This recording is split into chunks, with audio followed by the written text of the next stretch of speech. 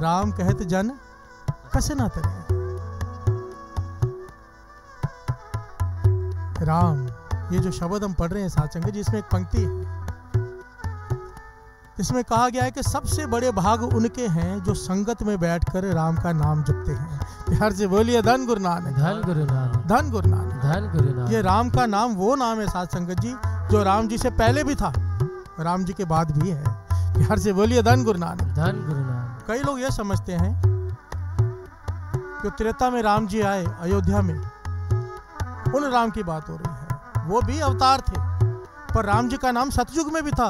भगत प्रहलाद राम का सिमरन करते थे राम के नाम का। प्यार से बोलिए धन गुरु नानक। धन गुरु नानक। इसलिए बाबा नंद सिंह जी कहते थे बार बार समझाते थे राम से बड़ा राम का नाम। प्यार से बोलिए धन गुरु नानक। धन गुरु नानक।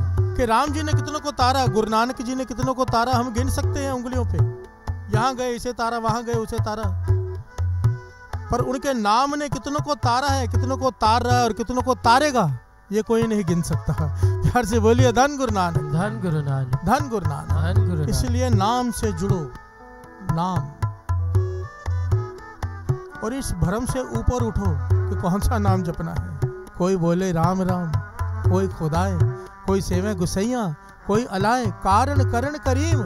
कृपा धार रहे चाहे किसी का भी नाम जप।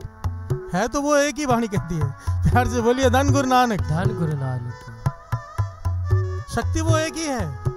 नाम हमने अलग अलग दिए हैं। प्यार से बोलिए धन गुरु नानक। नाम को लेके झगड़ा मत किया करो। सबसे बड़े मूर्ख हैं वो लोग जो नाम को पकड़कर झगड़ा करते हैं। सबसे बड़े मूर्ख। और सबसे बड़े अज्ञानी। गुरु नानक मेहर करे हम उन मूर्खों में उन अज्ञानियों में गिनती में ना आ जाएँ। पूछना छोड़ो कौन सा नाम जपें? बस जपो जिसे भूख लगी होती है सामने थाली रखे। रख दो। वो नहीं पूछता कैसे खाना है। खाना शुरू कर देगा क्योंकि भूख लगी है। जो लोग पूछते हैं ना कैसे जपें? कौन सा जपें? उन्हें भूख लगी ही नहीं है नाम की।